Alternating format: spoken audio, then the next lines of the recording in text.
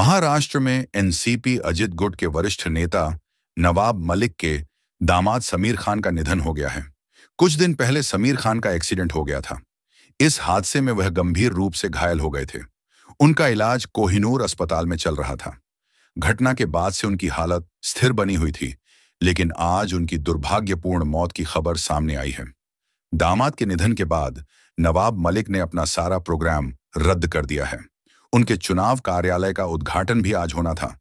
लेकिन इस अनहोनी के चलते कार्यालय का उद्घाटन कार्यक्रम भी स्थगित कर दिया गया। नवाब मलिक शिवाजी नगर मानकूर विधानसभा सीट से उप मुख्यमंत्री अजित पवार गुट की एनसीपी के उम्मीदवार हैं।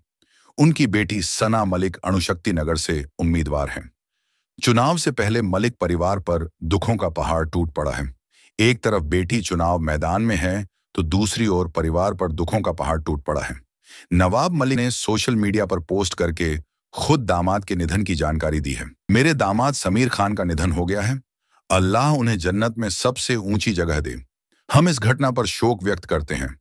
इसके साथ साथ उन्होंने यह भी कहा कि इस दुखद घटना के बाद अगले दो दिनों के लिए उनके सभी निर्धारित कार्यक्रम स्थगित कर दिए गए हैं।